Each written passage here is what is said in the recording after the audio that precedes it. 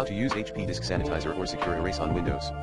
HP Disk Sanitizer and Secure Erase are tools that can help you wipe a hard drive or solid-state drive permanently. The deleted data cannot be recovered. HP Disk Sanitizer only works on hard drives, HDDs, while Secure Erase works on both hard drives and solid-state drives, SSDs. To use HP Disk Sanitizer or Secure Erase on Windows, you need to access them through the BIOS. Here are the steps to do that, disconnect any external storage devices from your PC. Turn on or restart your PC and press the F10 key repeatedly to enter the BIOS settings menu.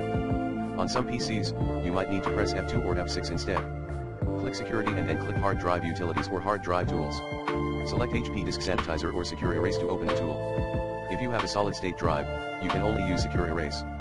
Follow the on-screen instructions to erase your data. You may need to type a confirmation code or password to proceed. Note, before using HP Disk Sanitizer or Secure Erase, make sure you back up any important data you want to keep. The deleted data cannot be recovered. Also, make sure your PC is plugged into a power source and do not interrupt the process until it is finished. Source, 1, HP PCs, using Secure Erase or HP Disk Sanitizer. https colon slash slash support.hp.com slash us hyphen n slash document slash ish underscore 7095884 hyphen 7095936 hyphen 16. 2.